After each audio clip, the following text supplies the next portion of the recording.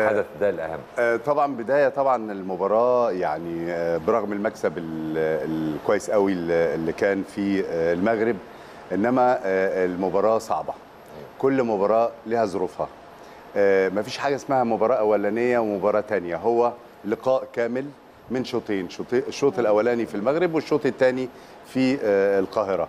ال- النتيجة كويسة قوي بالنسبة للنادي الأهلي بس فيها جانب سلبي اللي هو ممكن يدي أريحية لبعض اللعيبة إن إحنا عملنا نتيجة كويسة مع آه، الوداد في المغرب ف يعني نازلين بقى الملعب مرتاحين أو أو.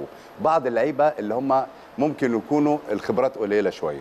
إنما ما أعتقدش يكون الإحساس ده مع اللعيبة الكبار اللي خاضوا تجارب كتيرة والكوره كمان علمتنا إن مفيش مستحيل.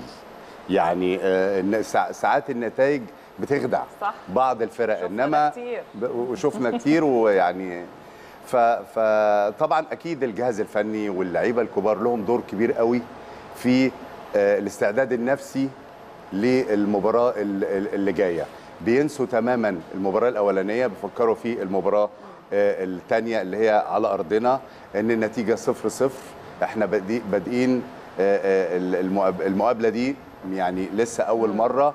آه، أنا سامع كمان إن ممكن ممكن يبقى في جمهور يحضر وده هيزود الحافز قوي عند آه، طبعا لعيبة النادي الأهلي لأن جمهور النادي الأهلي له تأثير كبير قوي طبعا علينا كلنا. آه، إشعال حماس اللعيبة طبعا وجود اللعيبة بيدي دفء كمان. وجود الجمهور بيدي دفء للعيبة طبعا. فيعني دي برضو من الحاجات ومن الأسباب اللي ممكن إن شاء الله بإذن الله تزود حماس اللعيبة.